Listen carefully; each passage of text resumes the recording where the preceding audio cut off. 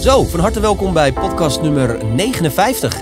Sprekers van de toekomst. Oftewel, hoe word jij die nu zit te luisteren en te kijken? De betaald spreker van de toekomst. En eh, vandaag iemand eh, in de studio die misschien, of ja, bijna niet meer de spreker van de toekomst. eh, Spreker van het verleden. de spreker van de verleden was geweest. Ja. Art Royakkers. Hallo. Fijn dat je er bent Vind ik ook. in de podcast. En dat ik kan spreken dus. Goed op stem inderdaad, ja. Ja. Daar gaan we het vandaag over hebben. Eh, als allereerst, hoe is het met je? Gaat goed. Ja, dat kan ik nu zeggen. En dat is minder voor de hand liggend dan je zou denken. Ik heb gisteren eh, controle gehad bij mijn KNO-arts. Eh, en daar kreeg ik het bericht dat het er echt allemaal goed uitziet met stembanden. Ik had stemproblemen eh, vorig jaar 2022 mee gekampt.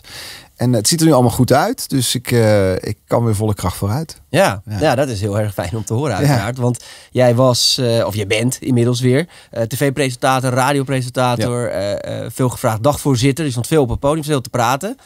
En neem ons eens mee naar dat moment dat je voor het eerst hoorde dat er iets niet helemaal in orde was met je stem. Ja, dat was in de, moet ik het goed zeggen, de zomer van 2021 alweer. Ja. Toen presenteerde ik een programma dat heet Bed and Breakfast voor Liefde op RTL 4. Daar moest Ja. ik heel veel voor inspreken. Mega succes. Dat wel. En ik merkte tijdens het inspreken, ik heb nu ook een kop thee staan, Ja. ik thee met honing steeds meer begon te drinken. Oh. Omdat ik dacht, oh, mijn keel, er zit iets, keelschapen, ik begin een beetje hees te worden. Uiteindelijk eh, bij een arts terechtgekomen. Die zei, nou, je hebt iets aan je stembanden. Eh dat kunnen we oplossen. Dan snijden we een stukje weg. Het heet een granuloom, maar zeg maar een soort vergroeiingje. Mhm. Snijden we weg, kunnen we weer eh, aan de bak. Een soort quick fix. Eh, dat was in september 2021. Nou, nou, Maar je, je, je raakte af en toe gewoon, je merkte dat je Heel hees. je stem ja, kwijtraakte. of ja, zo. ja, heel hees. Weet je zoals je kan hebben na een heftige nacht stappen? Oh ja. Dat gevoel. Alleen dat ging niet meer voorbij. eh, Nee, jij bent alleen maar gezond, Robert. Ja. Ja, Nou, voor de mensen, ja. ja. Eh, en ehm, dus, maar toen werd ik geopereerd en toen leek het voorbij. Dus kon ik ook weer wat programma's presenteren. Alleen, ik stond op een gegeven moment, presenteerde ik het programma Expeditie Robinson voor Videoland. ja. En toen merkte ik, mijn stem is weer slecht aan het worden. En daar maakte ik me wel grote zorgen om. Dus terug naar het ziekenhuis, naar de Toen arts. was die eerste operatie, was het een heftige operatie? Was het gewoon eigenlijk een beetje een soort standaard? Nee, ja, ik kreeg heel lekker op narcose blijkt. Heb Oké. je het ooit gehad of niet? Nee, nog nooit. Dat is echt Nee. aanrader hoor. Oh ja? Ja, ja, ja. ja. Ik vond Vooral wakker worden is lekker hè, volgens mij. Ja, krijg je meteen, krijg je, ik kreeg een ijsje. En Oh ja? eh, wordt een beetje zo. Ja, ik vond het wel lekker. Anyway. Eh, oh, ja.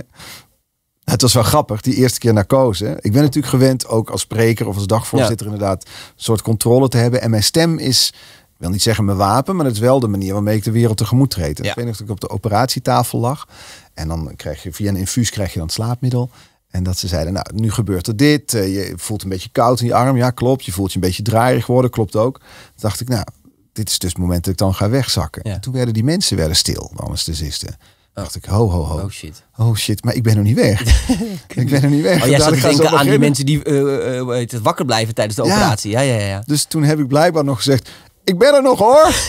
en toen zakte ik weg in de Ja. narcose. Ja. Maar je ging natuurlijk eh, met een heel ander gevoel die eerste operatie. Want jij dacht, het is toch gewoon een kleine Zo ingreep. voorbij, ja. En, eh, en daarna is En het toen kwam ik voorbij. in, janu- in januari 22 kwam ik terug in het ziekenhuis. En eh, om nog eens te laten kijken, omdat het dus toch niet goed ging. Toen zei de arts, nou, het is weer terug en het ziet er slecht uit. Want dat betekent dat het eigenlijk niet te verhelpen is. Daar komt het neer. We moeten op zoek naar manieren hoe je hiermee kunt, eh, kunt leven. Oké. En er was bijvoorbeeld een oplossing, een, luidsprekerkastje. Mijn stem zou heel zwak worden. Zou zo worden. Want wat, wat, eh, het was een poliep.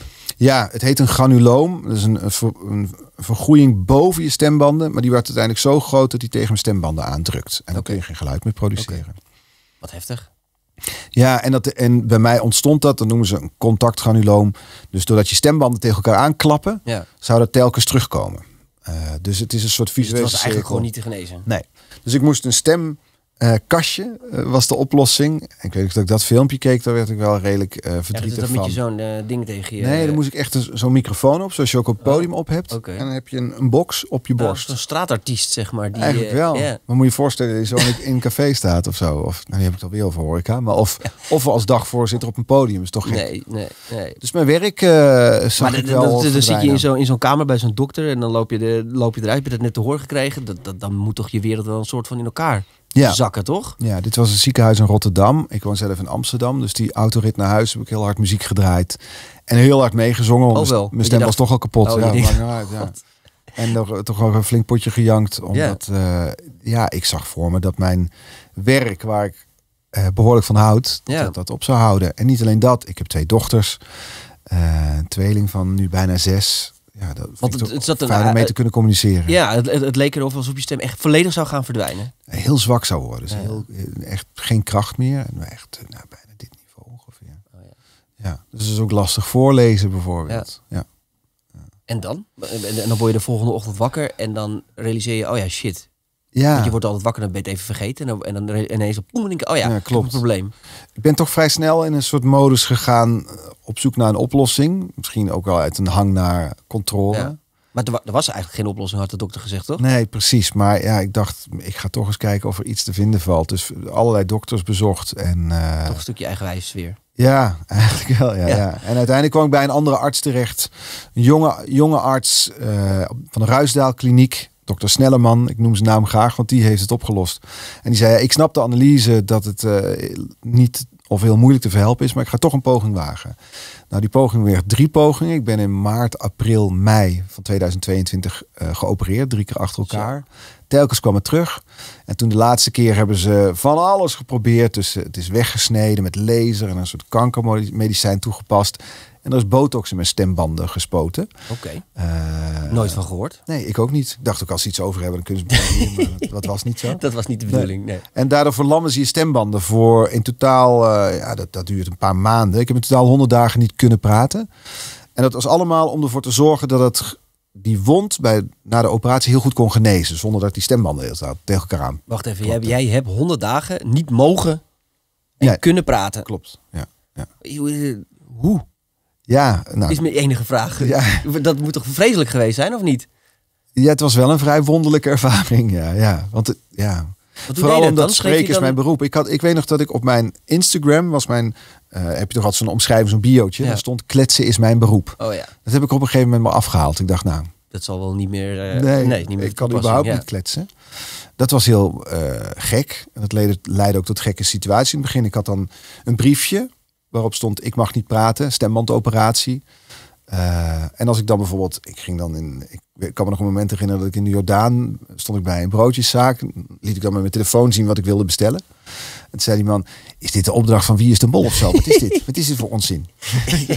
Dan krijg je dat in natuurlijk. Ja. Ja. Ja, ja, Maar eh, ja, het was een heel rare ervaring. Ik kon niet werken, ik kon niet in groepen afspreken. Ik kon wel met vrienden afspreken en dan mijn laptop mee. En dan typte ik mijn antwoorden. Eh, maar ik bracht mijn dagen ja, in stilte door. Dus al het werk dat ik normaal als dagvoorzitterschap of als presentator Mhm. doe, alles viel, Je viel alles, weg. alles op stil moeten zetten En dat was natuurlijk. leeg, ja. Ja. Je zegt het nu bijna met een soort lach op je gezicht. Ik kan me voorstellen als je op terugkijkt dat misschien ook wel eh, dat je er ook wat ontspannender naar terugkijkt. Maar op dat moment, wat doet zoiets mentaal met je? Want dat, dat, dat moet wel best heftig zijn, toch? Ja, dat was het ook wel. Ik, de onze, het was een oefening in omgaan met teleurstellingen en met onzekerheid. Ik denk dat Ja. eh, ik gewend was om eh, wel de regie te hebben. Voor zover dat kan in het leven, want er overkomen je voortdurend dingen. Ja. En je zat ook echt wel op een, op een lekkere piek in je, in je carrière. Ja, het ging, ik zat net bij RTL 4 een paar jaar. En dus het ging, en ik zat bij BNR Nieuwsradio. En alles viel weg. Dus ik was wel bezig. Eh, in het begin was ik wel eh, echt verdrietig. En ook gestrest en onzeker van komt dit goed. En uiteindelijk ben ik plan B, een plan B gaan maken. Want ik hield er echt ja, toch wel behoorlijk rekening mee. Dat ik mijn werk niet meer, Ja. het werk dat ik zo graag deed, dat ik dat niet meer kon doen. En wa- wat was plan B dan voor je? Ja, ik heb van allerlei dingen eh, verzonnen. Maar in ieder geval waar je dus niet zo mm, ja, hoeft te communiceren. Dus ik ben uiteindelijk bijvoorbeeld wel nog in de media hoor. Ik heb ook bedacht van ik moet de hele media achter me laten. Maar ik ben bijvoorbeeld voor Videoland programma's gaan begeleiden. Eh, want dan bekijk je gewoon montages en dan kun je per mail feedback geven. Om zo toch ja, iets te kunnen doen, zeg maar. Ja, heftig. Ja. ja, en het was ook op persoonlijk vlak. Kijk, ik, ik zei al, ik heb, ik heb dochters van, van vijf. Ja. Eh, die kunnen nog niet lezen. Daar beginnen ze nu een beetje aan. Dus dat, ik, met hen communiceer ik via Google Translate. Het is zo'n spraakding. Oh, dan spra- dus dan ja, typte ik in slaap lekker meisjes. En dan hoorden ze zo'n blikkerige vrouwelijke computerstem. Want in het Nederlands is het alleen maar een vrouw. Die dan zei slaap lekker meisjes. Dat was dan het laatste wat ze hoorden op een dag. Hoe, vonden zij dat? Ja, toch wel natuurlijk heel raar. Want ik bijvoorbeeld voorlezen deed ik dan. Dan had ik ze op schoot. En dan had ik een boek waarin ik kon bladeren. En dan via Storytel, die luisterboeken, Mhm. hadden ze dus een andere stem. Ja, alles, alles wendt. Dus alles lijkt op een gegeven moment ook een soort van normaal. Eh, maar het is natuurlijk heel kunstmatig en het is heel, het is heel gek. Ja. Ja. Neem ons eens mee wanneer, wanneer jij voor het eerst in het leven besloot... ik wil, ik wil iets met mijn stem gaan doen. Ik wil een presentator worden. Hoe, hoe is dat zo in je leven gekomen? Eigenlijk bij toeval om eerlijk te zijn. Ik, had, eh, ik werkte achter de schermen bij televisie. En eh, had een programma gemaakt, Expeditie Robinson. Daar werkte ik ook achter de schermen. Dus verslaggever, eindredacteur. En toenmalige presentator Ernst Paul Hasselbach. Hij is er inmiddels niet meer helaas. Die eh, presenteerde ook het programma Peking Express. En dat, dan moest hij te veel op reis. En toen dacht hij, ik heb, we hebben een opvolger nodig. En op de een of andere manier dacht hij, nou is misschien wel iets voor jou. En ik weet nog dat hij dat vroeg. En ik zei, nee, dat moet ik echt niet doen.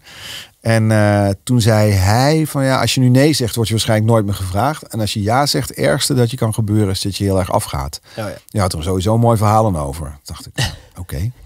dus zo vertrok ik toen naar Peking. Daar begonnen we toen. Ging, het was een liftprogramma. Waar mensen moesten racen van Peking naar Bombay. En Ernst Paul ging... Oh, een lift als in liften. Ze moesten zorgen. Ja, ja, ja. ja. Oké. ja. En uh, Ernst Paul ging mee. Uh, die eerste paar dagen om een beetje te coachen. Want ik had oprecht, ik had geen idee. En, uh, de Je hebt nooit voor een camera gestaan, nooit is gepresenteerd. Nee. Nee. En uh, toen uh, de kledingsponsor had niet meegekregen dat Ernst Paul het niet presenteerde. En dat was een hele grote donkere man van uh, twee meter zoveel. Nou, okay. ik ben, dat ben ik niet, zeg nee, maar. Dus nee. ik stond letterlijk in zijn kleding te verdrinken. We hadden de hele nacht de tekst geoefend met zijn intonatie. Dus ik stond het letterlijk zijn tekst te doen oh, ja, op zijn manier. Ja, Als je terugkijkt zie je hem, een man in doodsangst. Zie je mij op de kamer. Ik ken die tekst trouwens nog helemaal uit mijn hoofd. Zijn die ik, filmpjes er nog of niet? Ik vrees het wel. Pas wel. ik sta hier in Hartje Peking, bovenop de drumtoren. Vorig jaar eindigde hier een krankzinnige race. En ook dit jaar staan zes duo's klaar voor het avontuur van hun leven. nou, zo. Had Ernst Paul geschreven. Dat was je eerste... waren mijn eerste tekst die ik ooit gedaan heb. En... Um, wanneer kwam het punt dat je zei van oké, ik vind dit ook echt heel leuk en ik ga hier in verder? Of is dat gewoon uiteindelijk zo gerold? Um, nou, ik denk dat ik in eerste instantie na het eerste seizoen dat ik presenteerde, als ik dat terug, daar terug aan denk, dan had ik, ik had wel plezier om dat te doen, maar het zag er niet uit en ik kon er echt niks van. Dus er ontstond een soort revanche gevoelens. Ik dacht, ja, maar ik wil het, nu wil ik het dan nog wel een keer doen en dan een keer ook goed doen. Oh, ja, ja, ja. En ze hebben me dat vertrouwen gegeven, dan moet ik het ook waarmaken ook. En, dan, en zo langzaamaan durf ik iets meer vertrouwen te hebben. En uh, het duurde wel een poosje dat ik er echt ook van kon genieten. Ik wilde het vooral in het begin ook goed doen. Maar had je dan, had je dan uh, podiumvrees? Vond je het moeilijk om, uh, om te presenteren? Wat, wat, wat was dan precies hetgene waardoor je niet jezelf kon zijn, zeg maar? Ja, dat ik toch dacht van nou, dit is een, die presentatorplek. Of het nou bij een televisieprogramma is of radio of dagvoorzitter. is een gewilde plek. Er zijn veel ja. mensen die het willen. willen. Ik dacht, wie ben ik dat ik hier mag staan? Ja. Wie, waarom, waarom zou ik dit mogen doen? En als je die vraag stelt op het moment dat je net een tekst moet uitspreken voor een camera, dat is echt het slechtste moment, kan ik jou vertellen. Ja. Want je moet op het moment dat het lampje aangaat, moet je, moet je geen zelftwijfel hebben. Dan moet je denken, ik sta hier nu en ik ga mijn tekst uh, ja. doen. Of ik ga die zaal toespreken. Maar als je dan met een soort zelftwijfel staat, dan verkramp je helemaal. Ja. Hoe heb je dat geleerd? Wat, wat, wat, wat zijn nu je tools om zeg maar voor zo'n camera toch bij jezelf te blijven of jezelf zelfvertrouwen te geven? Ja, dat, dat luikje in mijn hoofd, die sluimerende, dat sluimerende gevoel uitzetten. Ik weet nog dat ik, ik ik heb Stemmen in je hoofd uitzetten. Eigenlijk wel. Ik heb Wie is de Mol gepresenteerd. Dat is natuurlijk met bekende Nederlanders. En ik had, dat, ik had er zelf aan meegedaan. En het jaar daarna ging ik het presenteren. En ik weet nog dat ik voor uh, de groep zou komen te staan. Maar dat zijn allemaal mensen die keek ik aan aan. Dacht ik, ja, jij had het ook kunnen presenteren. Ja, ja. En jij ook. Misschien wel beter dan ik. En, maar als je dat doet, dat is dus, ja, dat, dat, dat werkt niet. Dat was sowieso vrij onhandig. Want de regisseur bij Wie is de Mol had bedacht dat ik een beetje een goede entree moest maken. Een beetje cool moest beginnen. Okay. Dus ik moest over een strand in IJsland met een hele dikke jeep aankomen rijden. En dan uitstappen en dan mijn tekst doen en dan weer instappen en weer wegrijden. Dus nou, uitstappen ging goed, tekst ging goed. Dus ik stap er in die auto om te vertrekken en ik zie al die kandidaten zwaaien. Ik denk, nou, wat een beetje overdreven, maar aardig van ze, weet je wel. Dat ze vonden dat het goed ging of zo. Dus ik rijd weg en ik, er gebeurt dit. Wat is nou gebeurd? Ik reek over de Samsonite koffer van een van de kandidaten heen. Oh. Dat was mijn entree bij die Istanbul. Ja. ja. nou goed. Maar dus ja, hoe ik dat doe? Uh, toch, ik, ja, en ervaring. En uh, in het begin hebben mensen tegen me gezegd van ja, het maakt niet uit of iemand anders er had kunnen staan. Jij staat er nu. Dus dan moet je het ook maar ownen. Ja, precies. Wat, wat uh, ontzettend veel in onze podcast altijd voorbij komt van sprekers. Hè, als je op een podium staat, daar gaan we het straks uiteraard ook nog over hebben. Um, um, is dat stukje um, authenticiteit. Hè, dat je als spreker jezelf moet kunnen zijn, uh, jezelf moet durven zijn ook. Ja. Is dat in de tv-wereld ook heel belangrijk? Of speel je dan toch meer een soort van rol voor de camera? Ehm, nee, ik denk dat authenticiteit op televisie ook belangrijk is. Uh, en tegelijkertijd ben je wel soms een uitvergroting van, je, van een deel van je karakter of van jezelf. Eh, bijvoorbeeld bij Wie is de Mol was ik de presentator die met die wenkbrauwen een beetje zo Oh ja. eh, naar mensen zat te kijken terwijl ze een rood of groen scherm kreeg. Zo zit je niet thuis. Nee, Nee. nee. Dus ik zit toch anders achter mijn laptop. ja. Dus je vergroot soms een deel van jezelf uit. Maar je moet jezelf niet verloochenen. Want het voel je als kijker meteen of iemand echt of nep is. Dat is en dat heb je volgens mij in minder dan een halve seconde door. Maar het is tegelijkertijd het allermoeilijkste wat er is volgens mij. Om jezelf te kunnen zijn als er lampen op je staan. Cameramensen, geluidsmensen. Soms is er nog publiek bij. Dus je wordt zenuwachtig. Eh, dat wordt iedereen. En volgens mij is de, het verschil tussen mensen die goed overkomen en niet goed overkomen, is hoe je met die zenuwen omgaat. Zeg maar. Ja. Nou ja, kijk, en je hebt ook natuurlijk eh, eh, bij een live audience heb je nog een beetje een soort van de bevestiging die je dan krijgt. Hè? Als Ja. er dan gelachen wordt of geapplaudiseerd of je ziet Ja. mensen eh, knikken of foto's maken, dan denk je, oh, ik ben goed bezig. Maar voor een camera krijg je natuurlijk nul respons. Nee, nee, echt Dus je, je, je, je- ik kan me voorstellen dat je hoofd ook af en toe wel eens helemaal de loop met je neemt. Joh, ben ik eigenlijk nog wel goed bezig? Je Precies. krijgt natuurlijk nul feedback. Jij zal achter de camera wel een keer feedback krijgen. Maar je hebt natuurlijk soms ook wel eens lange takes. Ja, nee, klopt. Ja, nee, ik denk dat wat ik dan wel deed is, eh, en doe ook, is dat ik iemand voor ogen heb. Dat ik dus bedenk, ik sta niet in zo'n zwart gat van de camera Oh, ja. te praten, maar ik sta dit te vertellen tegen een neef van me of tegen een vriend of vriendin. En die heb Oh, ik dan ja. in gedachten. Want dat helpt volgens mij ook met, waar je het over had, met authentiek zijn. Als je bedenkt, ik zit nu tegen weet ik hoeveel duizenden mensen te spreken. Ja, dan, dan ga je jezelf misschien een beetje verkrampen. Ja. Maar als je bedenkt, nou, ik vertel het tegen een goede vriend van me, dan ga je ook anders praten. Ja. Is het uiteindelijk echt een passie voor je geworden, het presenteren? Eh, Of gewoon een beroep?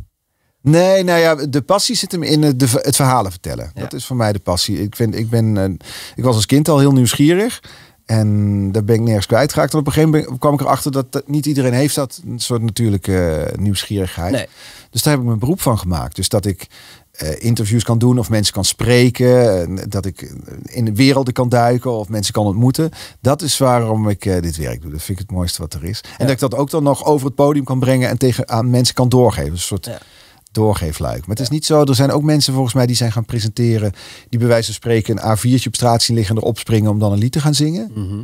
Dat, dat ben ik niet. Ik ben Nee. de, de verhalenverteller of de, Ja. de nieuwsgierig. De Ja, je hebt, en je hebt dus ook blijkbaar vanuit je jeugd nooit echt de droom gehad om presentator te worden. Nee, dat niet. Nee. nee. Maar dat komt ook. Ik ben opgegroeid onder de rook van Eindhoven. Dat was ook echt heel ver. Ik had. Ik wist Heel niet ver eens. Hilversum. Ja, ik wist echt niet dat je voor televisie kon werken. Ja. Ik wist dat je ervoor kon naar kon kijken. Ja. Ja.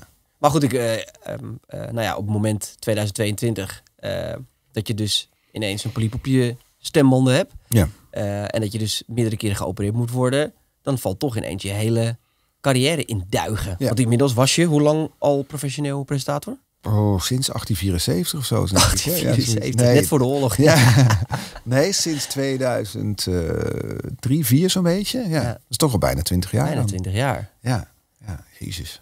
Ja, Ja, dat is lang hè. Het is Ja. sowieso, ik, vind, het- ik vind het heel confronterend altijd als je over dingen kan praten van 20 jaar geleden. heftig hè? En dan ook nog gewoon op een respectabele leeftijd was op dat moment, Ja. zeg maar. Ja, ja, ja. En dan word je echt oud, eh Art. Dankjewel Robert. Dankjewel. Ja, dankjewel. Hey, bedankt voor het interview. ja, Oké, tot ziens. Nee, maar ja, ik, ik ben gewoon heel erg op zoek naar, want ja, ja weet je, je, je- maar ik heb we zaten ook nog in de coronaperiode. Je Ja. krijgt natuurlijk best wel veel op je boterham. Ja, ja. Dat moet, de, ja, ik, ik, ik, voor mij, ja, misschien, nou ja, daar ben ik dus heel benieuwd naar. Ehm, leer je jezelf op zo'n moment ook anders kennen? Ja. Want ik zou denken, ik ga de hele dag thuis zitten huilen. Want ik bedoel, als ik niet meer kan praten, Ja. Dan dat, dat zou, ik, zou ik vreselijk vinden. Ja, ik kwam erachter na verloop van tijd dat ik wel gezegend ben met een relatief positieve inborst. Dat scheelt. Dat weet je ook niet van tevoren. Nee. Dus ik, eh, ik, ik maakte wel iets van mijn dagen. Want het gaf me ook, het was ook een soort reset. In de zin van, wat voor coro- corona voor veel mensen ook was, dat hè, alles even wegviel. Ja.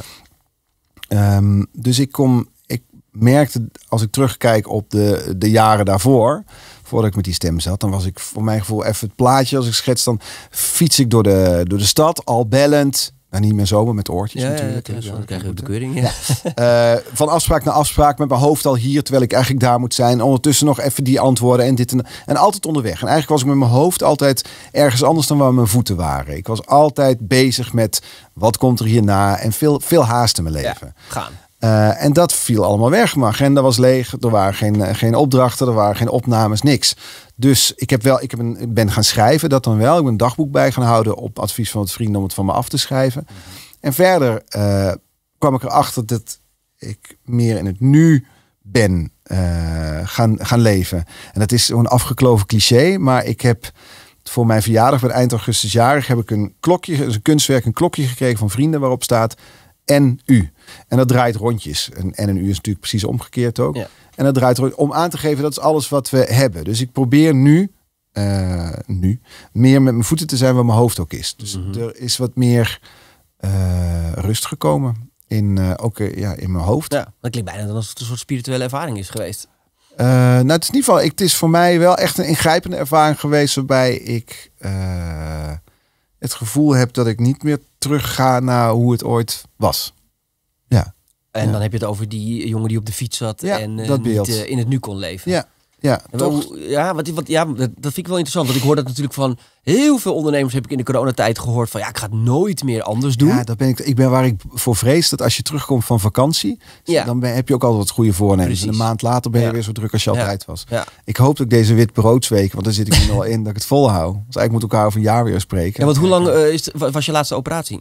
In mei vorig jaar. En dan daarna dus die hele lange periode stilte, eigenlijk de hele zomer. Eh, dus vanaf, eh, ik ben nu pas ja, sinds een paar maanden eigenlijk weer aan het werk. Hoe, was je, hoe was je eer, de, eh, nou, laat ik het zo zeggen. Je, je had, hoe heet dat, ehm, eh, je laatste operatie gehad. Ja. En dan krijg je dus op een gegeven moment een gesprek met de arts. Ja. En die gaat dan vertellen of het weer niet gelukt is. Want ik neem aan dat je dan de derde keer dan denkt, nou, het zal wel weer Ja. niet lukken. Ja. Hoe was dat gesprek? Ja, wat er gebeurde is dat ik dan elke week op controle ging. En dan keek ze met een camera in mijn keel naar mijn stembanden. En dan zei hij, nou ja, het ziet er oké uit, maar toch nog maar voorzichtig zijn. Dus doe nog maar een week, echt niet praten. Nou, en dan een week later weer. En dan, eh, dubbeltje op zijn kantje. Nou, dat zijn niet de woorden die je wil horen van je arts. Nee. En zo ging dat week na week voorbij. Maar het duurde ook telkens. Ik, daarvoor kreeg op een gegeven moment gewoon het nieuws: het is slecht, we moeten weer opereren. En dat kwam ook telkens niet. Waardoor ik iets meer hoop begon te krijgen. Ja. En zo, ja, eigenlijk leef je van controle naar controle. Eh, maar durfde je wel hoop te hebben tussendoor? Eh, nee, ik heb je- dat. Ik, nou, wat het was is. Maar dit, jij noemde net het woord spiritueel. Ik denk dat ik in het begin was ik een soort van verkrampt. Omdat ik, ik wilde weer aan het werk. Ik Ja. wilde weer eh, dat kunnen doen wat ik zo graag doe. En Ja. nou ja, ook gewoon, ik wilde brood op de plank. Dan moest, weet je. Dus ik was echt bezig met het moet zo snel mogelijk beter worden. Dan kan ik wel aan het werk. Want als ik niet aan het werk kan, eh, heel erg dit. Vasthouden. En op het moment dat ik met de arts daarover had en we samen tot de conclusie komen, eigenlijk, weet je, dit is ook al, je voelt al, dit is verkrampt, hè? Ja. moet loslaten. En toen was mijn doel, werd op een gegeven moment niet meer, ik wil aan het werk kunnen, zo snel mogelijk. Maar mijn doel werd, ik wil mijn dochters kunnen voorlezen. Ja. Want dat is uiteindelijk... eh, Het mooiste wat er is. ja, en ook veel belangrijker. En daar, daardoor ontstond er een soort rust en kon ik wat meer, nou ja, loslaten. En of het nou toeval is of niet, maar vanaf dat moment begon de, het, het beter te gaan. stijgende lijn te komen. Ja. Ja. En toen op een gegeven moment zei de arts, ja, eh, meneer arts, het is, het is weer oké. Ja, U mag weer praten. ja. Was ja. dat het? Ja, dus ik had, vrij, ik, ik had vrij lang de tijd gehad om na te denken over mijn eerste woorden. Weet je? Ja. Toch de, weet ik het, eh, it's a small step for man, a giant leap for mankind. Dat ja, nou, dat was eigenlijk de volgende vraag. wat, hoe is dat dan? Ja. Ja. Dus de arts zei, nou, je, je mag wat zeggen. En mijn eerste woorden zijn vrij teleurstellend. Namelijk, ja, mag ik? dat was het dan. Nou, had ik ook wel beter iets Shit. kunnen maken. Ja. Maanden over na zitten denken. Ja, het was heel raar om, om dan weer zo te kunnen. Maar dat wa- was ook een overgangsperiode. Dus mocht ik vijf minuten per uur praten. Oh ja. Tien minuten per uur. Wat ook heel gek is, want waar besteed je het dan? Waar besteed je die vijf minuten aan? Ja, met wie ga je dan praten? En wat, Ja. wat ga je dan vertellen? Ja. En? Wat, hoe, hoe heb je dat ingevuld? Eh, nou, aan mijn- in het begin durfde ik het niet aan mijn dochters te laten merken. Want ik dacht, ja, als, als zij dan weer. Dat is het nog verwarrender. Dat ik dan een paar minuten mag Ja, praten. ja, en dat is ook moeilijk uit te leggen aan iemand. Ja, eh, ja. dus dan eh, gebruikte ik het eigenlijk voor stemoefeningen. Oh ja. Zo'n beetje kon. Lalalalalala. Ja, ja. Bijzonder, joh. Ja. Hey, en dan, ehm, eh, ja, dan, dan, dan, dan, dan, dan gaat het weer en dan mag je weer praten. Maar wa- was dat, moest dat, ehm, is dat raar om dan weer te, te kunnen praten? Of is dat, nou ja, eigenlijk is, is dat helemaal niet zo heel vreemd om dan weer ineens te moeten praten? Nee, ik vond het wel gek. Mijn, ik werd door vrienden ook wel eens radio rooijakkers genoemd. Omdat ik vaak het hoogste woord had. En eh, het soms moeilijk vind om tot de punten te komen. Dus dat Mhm. ik veel woorden nodig heb om iets duidelijk te maken. Eh, dus ik heb voor mijn gevoel ook veel woorden verspild, zeg maar. Ik had Ja. mijn stem wel intensief gebruikt voordat die stuk ging. Dus wat ik merkte toen ik weer mocht praten, maar die paar minuten per uur, dat, je, dat ik veel selectiever werd in, Ja. in mijn verhalen en zo. En voor mijn gevoel was mijn stem, was ook, is, nee, is bij jou ook, je stem is een groot deel van je identiteit. Niet alleen hoe die klinkt, maar ook wat je vertelt. En, Ook je manier van eh, hoe je je uit en ja. eh, je gevoelens deelt. En, dus maar ik had ook soms de vraag, wie ben ik eigenlijk nog? Als ik mijn, eh, als ik mijn stem niet kan gebruiken, als mijn werk niet kan doen. Wat is dan, wie, wie ben ik dan eh, Ja. eigenlijk nog, zeg maar? Dat is ook, dat, je u wordt van best wel veel Ja. gestript. en geef daar eens antwoord op. Nou ja, uiteindelijk ben ik dus, als je naar de baas kijkt, ben ik vader, ben ik eh, een vriend, ben ik een zoon en ben ik, eh, ben ik de mensen die om me heen staan, daar, daar ben ik, eh, daar ging het dus blijkbaar niet om wat ik kon zeggen. Ik heb echt hele waardevolle en fijne en bijzondere middagen en avonden gehad met vrienden zonder dat ik iets kon zeggen. Ik ben zelfs naar een driedaags festival geweest met een vriendengroep zonder dat ik kon praten. En niet in de verleiding gekomen af en toe even mee te Nee, schreeuwen. nee, nee, nee, nee, nee echt. Ik deed, was heel streng dan. Ja, Ja. wat goed joh. Ehm, nou ja, hoe heet dat?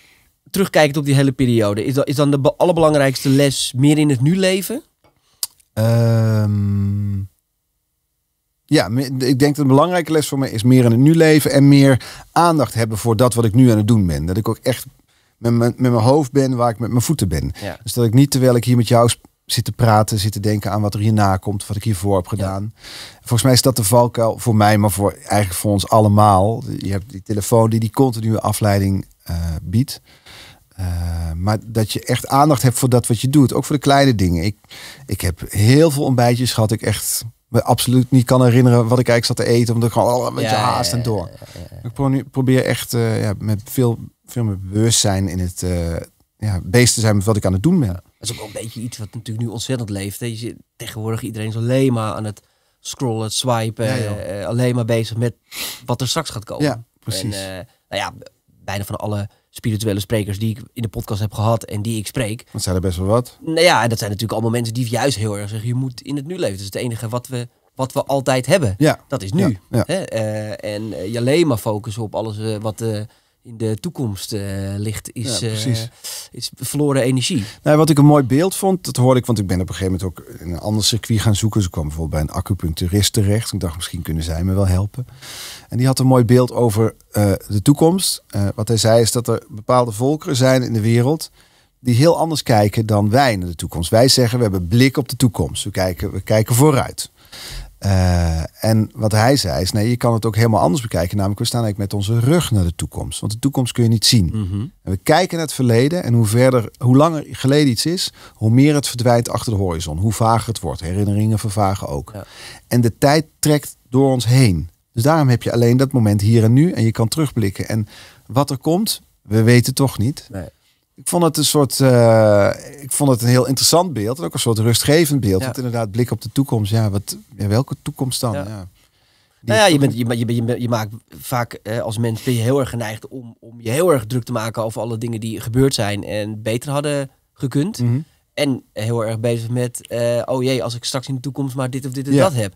En het is allemaal alleen maar verloren energie. Ja. Want alles wat in het verleden ligt kan je niet meer veranderen. En alles wat in de toekomst is kan je niet sturen. Nee. Of tenminste, ja, je kan enigszins nog wel de regie hebben op je eigen leven. Ja. Maar dat moet je wel nu doen. Ja, ja. En niet later. Nou ja, dus dat was wel voor mij inderdaad, zoals je het ook zegt, dat was wel iets wat ik aan dit jaar heb, heb overgehouden. En het gevoel dat dus. eh, ik had dat gevoel van controle dat ik dacht te hebben, dus een soort vals gevoel. Maar hè, dat, dat vast willen houden, Mhm. Eh, daar ben ik ook wel van teruggekomen. Dat je, je ja, wat, ik, wat ik al zei, dat als je loslaat, toen ging het beter. En ik weet niet of het toeval is of niet, maar ik, ik heb wel het idee dat het goed was voor mij in ieder geval om te leren loslaten. Ja. Eh, Bestaat er een kans dat het nog terugkomt? Ja, die bestaat altijd. Maar het Ja. is niet dat, zo dat ik nu veel meer risico loop dan, eh, dan jij. Nee, dus in principe, eh, als ik verstandig met mijn stem omga, ik denk dat het altijd een zwakke plek blijft. Net zoals een voetballer die ooit geblesseerd is geraakt. Ja, het kan weer terugkomen. Ja. Ja, Maar hou je daar, blijf je daar wel rekening mee houden dan? ik doe keurig stemoefeningen. En eh, je zal me niet meer snel zien schreeuwen bijvoorbeeld of zo. Nee, dat is heel goed voor mijn dochters. Hou op. Ja. Is dat ook met dat bubbelen? Ja, dat doe ik ook dan, ja. Ik heb ooit nog wel eens met een zangeres een relatie gehad. Die zat al de hele dag eh, te bubbelen. Waaraan, Stem, Robert? Waaraan? hè? Waaraan zat ze te bubbelen? Aan zo'n, ja, aan dat eh, flesje, Ah, oké. zo'n eh, aan zo'n pijpje. Ja, ja. Nee, dat doe ik ook. En zo'n flesje en zo Ja. dan moet je zo pff, bubbelen, ja. Dus dat doe, je, eh, doe ik een paar keer per dag. En wat stemoefeningen en stemhygiëne heet dat. Dat is ook een woord dat ik niet kende. Stem, nee, nooit van gehoord. Nee. Nee. Maar goed, je bent ook natuurlijk professioneel presentator geweest. Het heeft allemaal on hold gestaan. Je was dagvoorzitter. Ehm, eh, was het makkelijk om alles weer op te pakken? Was het zo van jongens, ik doe het weer en stond iedereen weer op je te wachten? Of Nou, ik, dus ik meldde bij RTL, waar ik programma's van maak, van nou, ik mag weer. En toen zei ze, Ja. nou mooi, we hebben een programma dat gaat over muziek, over stemmen voor je. Toen dacht ik, zo ook, wat kan het leven toch gaan lopen? Toen stond ik dus eh, op een gegeven moment in de studio, een kolkende studio met honderden mensen publiek en een live band en weet ik wat. En ik stond in de coulissen klaar om op te komen.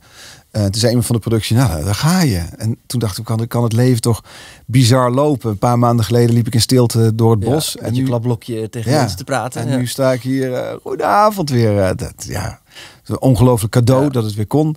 Was dat een emotioneel moment, de eerste keer dat je weer... Ja, toch wel, ja. ja toch wel. Ook bij BNR Nieuwsradio presenteer ik een programma toen ik de eerste keer weer op de radio kwam ook. Want dan heb je zo'n koptelefoon op en dan hoor je je stem.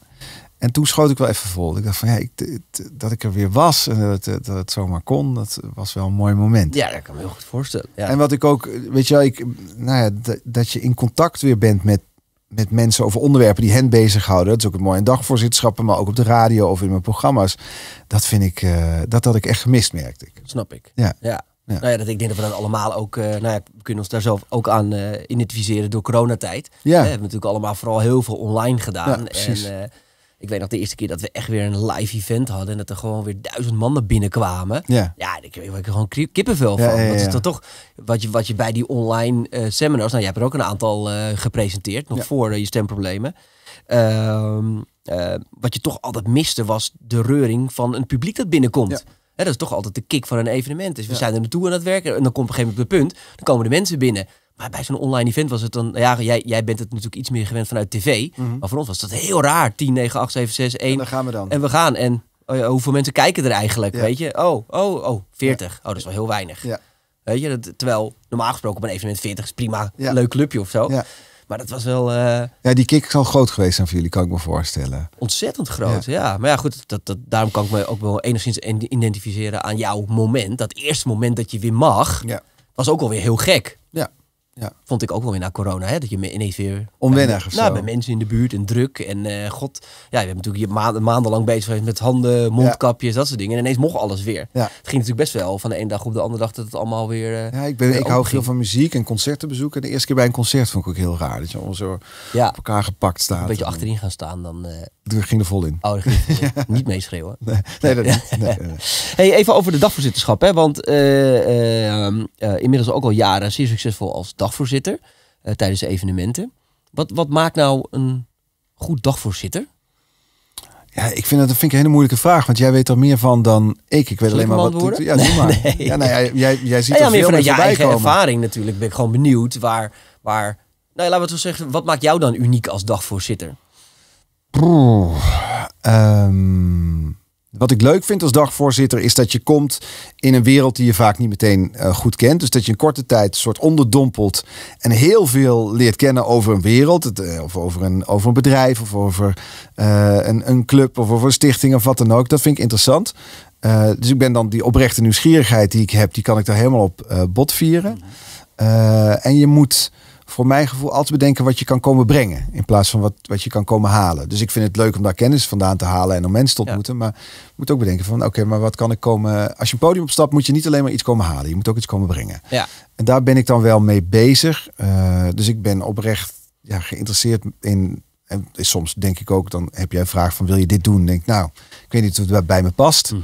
Maar dus de klussen die ik doe, dat zijn de onderwerpen waar ik me echt voor interesseer dan. En dan, ja, dan is het eh, echt ja, contact maken en op zoek gaan naar dat wat, zeg maar, waar, waar ja, nou begin ik vaag te lullen, hè? Zie je? Nee, maar wat, wat, ik, dan nou ja, wat ik denk dat je bedoelt is ook, je leest je ook echt in Ja. als het gaat om een bedrijf. Ja. Eh, dat doen niet alle dagvoorzitters. Er zijn ook sommigen die zeggen, joh, geef mij mijn kaartjes en eh, ja. ik lees het wel voor, om het zo maar te zeggen.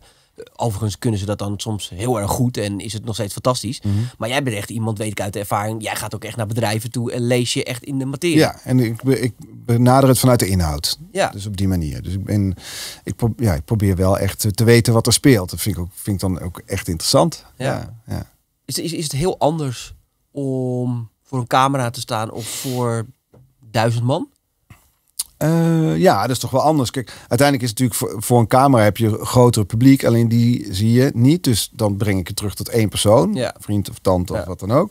En voor het grote publiek, ja, ik, eh, een- vaak zitten bijeenkomsten best wel vol met veel sprekers en noem maar Mhm. op. Maar ik vind, ik voel meestal binnen twee, drie minuten wat, wat voor zaal het is en hoe je daarmee een relatie aan kunt gaan. Eh, door heel even gewoon te voelen van wie zitten er en wat, eh, weet je, wat is het gevoel van de dag eigenlijk. Doe je dat dan door, door, door de mensen heen te lopen? Ja, en eh, even vanaf podium, de- precies, en even Ja. vanaf podium voelen, weet je wat vragen stellen of even kijken wat er speelt. En dan kun je samen kun je er zo'n zo'n dag in beweging Ja. zetten. Kun Maar ik vind het wel interessant. Ik hoor dat van veel sprekers die zeggen van ja, maar dan voel ik altijd aan zo'n zaal. En dan denk ik altijd, maar wa- wat is dat dan? Hè? Wat, wat- hoe kan je nou, is dat een soort collectief bewustzijn bijna of zo, wat je voelt dan? Nou, alleen al hoe mensen bijvoorbeeld, weet ik het, hoe mensen binnen zijn gekomen. Er stonden heel veel files, of was het heel veel regen. En eh, moesten ze van heel ver komen of juist niet. Kennen ze elkaar allemaal, kennen ze elkaar niet. Zit er onwennigheid in de zaal. Dus is het, wi- willen we er een beetje een club van maken. Dus dan is het het gevoel dat mensen, je wil dat er een soort gezamenlijk gevoel ontstaat. Dat je, je bent daar met z'n allen op één plek samen. En dan is toch het idee in die paar uur dat je daar samen bent, dat er iets ontstaat onderling. Dat je naar buiten gaat met het gevoel iedereen van, hé, hey, hier heb ik iets aan gehad. Of het nou een leuke, leuke middag was of een informatieve middag. En volgens mij is dat wat ik die eerste minuten probeer te voelen. Dus even te kijken van, oké, hoe, hoe, hoe krijgen we dat voor elkaar? Ja. Is het wel eens niet gelukt?